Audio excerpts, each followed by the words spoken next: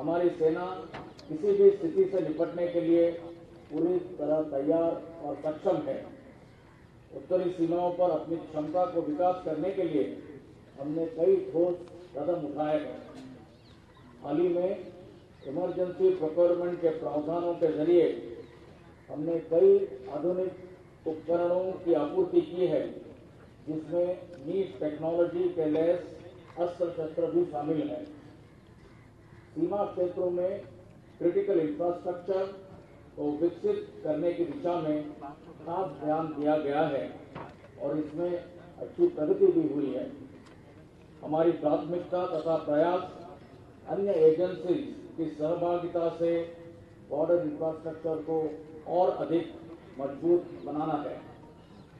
पश्चिमी सीमाओं पर जम्मू और कश्मीर के हालात नियंत्रण में हैं। परंतु पिछले कुछ महीनों से राजौरी पुंछ के क्षेत्र में आतंकवादी हरकतों में बढ़ोतरी देखी गई है।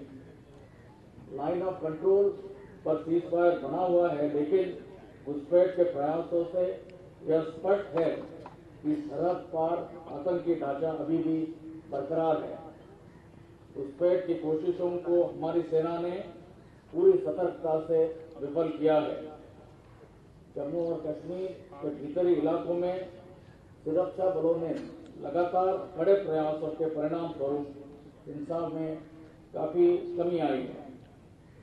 हम सभी स्टेक होल्डर्स के साथ मिलकर देश से आतंकी आतंकवादी नेटवर्क को जड़ से खत्म करने के लिए संकल्पित होकर कार्य कर रहे हैं।